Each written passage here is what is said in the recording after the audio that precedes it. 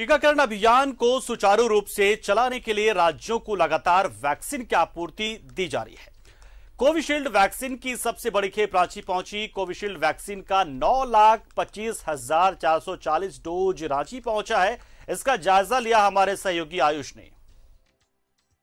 जहाँ देश भर में प्रतिदिन लगभग करोड़ों की संख्या में लोगों को टीका लगाया जा रहा है, वहीं राज्य की बात करें तो प्रतिदिन लगभग तीन लाख से भी अधिक लोग टीका ले रहे हैं।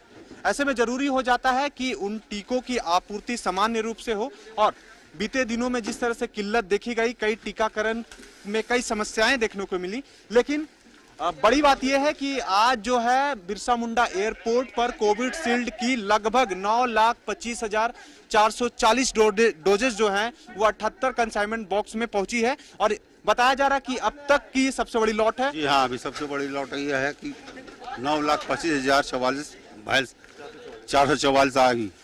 और सबसे बड़ी सबसे ज़्यादा भी है विभिन्न जिलों हाँ पूरा विभिन्न जिलों में चल जाएगा। जी जी। इसके बाद भी कोई लॉट आनी है?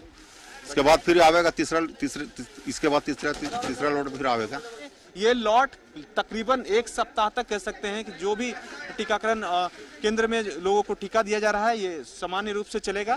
साथ ही साथ आज नौ लाख पच्चीस हज़ार चार सौ चौवालीस जो डोजेस पहुँची हैं ये कोविड शील्ड की है। उपायुक्त लगातार जो है टीकाकरण केंद्रों की जानकारी लोगों को देते हैं तो लोग वहाँ पहुँचे, टीका लें, क्योंकि इस महामारी की लड़ाई में सबसे बड़ा हथियार टीका ही है। अपने सहयोगी मंटू यादव के साथ मैं आयुष चौहान, न्यूज़ इलेवन भारत।